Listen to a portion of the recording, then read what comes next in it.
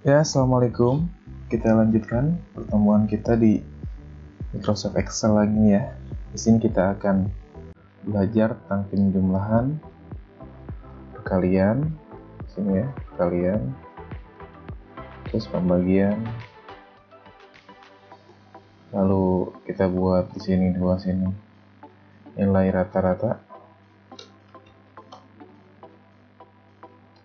Lalu nilai tertinggi nilai terendah.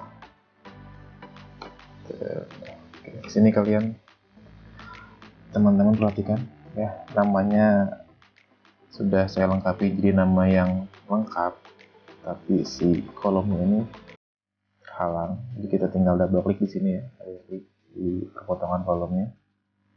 Nah, seperti ini langsung rapi itu pun di judul juga sama. Double klik aja oke. Ini juga sama. Nah. Sekarang nomor namanya kita buat namanya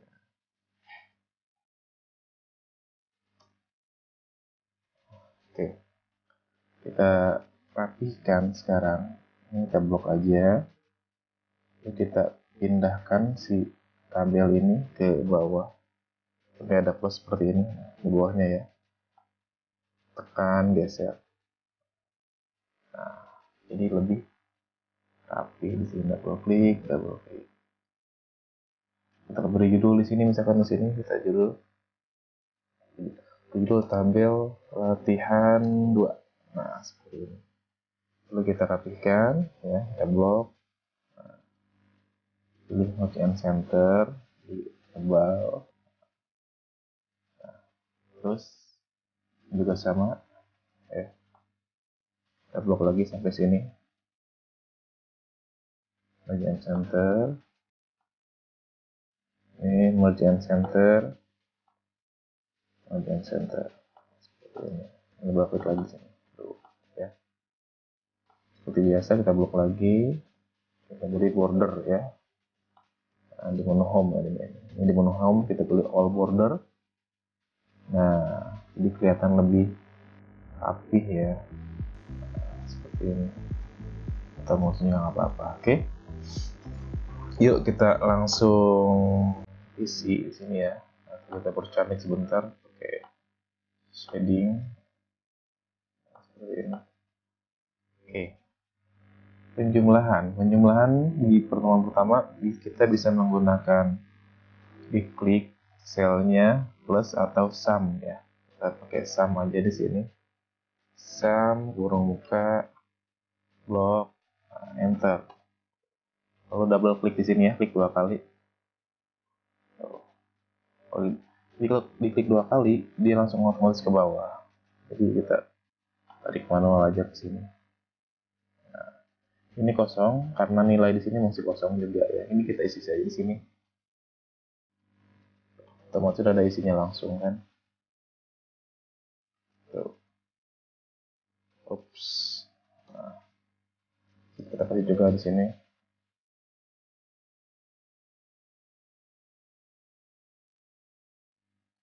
Nah menjadi penjumlahan. Lalu perkalian. Sama dengan diklik selnya bintang ya. Bintang terus di sini juga di sel ke tujuannya enter. Dikali ya. 76 dikali 80 oke selesai pembagian sama dengan sel pertama garis miring garis miring lagi sel kedua nah ini dia Tuh. Nah, selesai. Di sini nilai rata-ratanya kita tulis ya. Ini kita perbaiki di sini. Rata-ratanya. Jumlah sama dengan turun muka average ya. Average. Average. Ini average. Digeser seperti ini di blok set selesai terus kita geser ke kanan nah ini rata-ratanya terus tertingginya sini sama dengan max ya. dia max blok lagi enter selesai. Bisa nah, beres. Rendah rumusnya itu min. Min kurang buka enter. Oke. Selesai. Di sini kita lihat ya ini data kebanyakan. Tinggal di blok saja seperti ini. Terus ini komanya kita hilangkan di sini ke kanan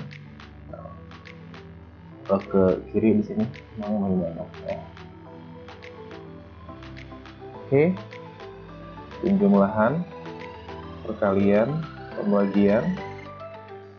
Rata-rata yang tinggi yang terendah oke sampai jumpa di video selanjutnya. Kurang jelas bisa tanyakan di kolom komentar. Assalamualaikum warahmatullahi wabarakatuh